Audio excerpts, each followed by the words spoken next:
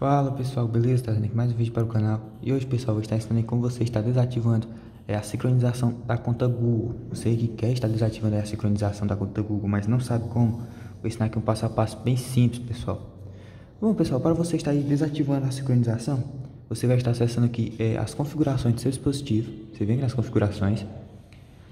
Aqui em configurações pessoal, você vai estar descendo ó, até a opção contas e backup. Você vai estar vindo aqui na opção contas e backup clica nela.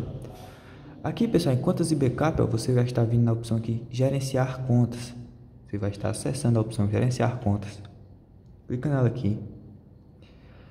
E aqui, pessoal, ele vai estar mostrando aqui todas as contas que tem no seu dispositivo, inclusive a conta do Google. Você vai estar acessando aqui a primeira opção, que é a conta do Google.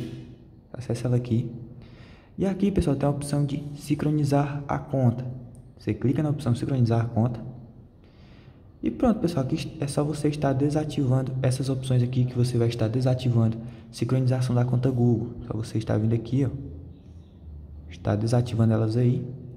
E caso você queira ativar, só você estar vindo aqui nesses três pontinhos, ó. Opa. Só você selecionar aqui mesmo, pessoal. Caso você queira estar ativando ela novamente. E é basicamente isso, pessoal. Espero ter ajudado. Se você gostou do vídeo, deixa o like. Tamo junto e até a próxima.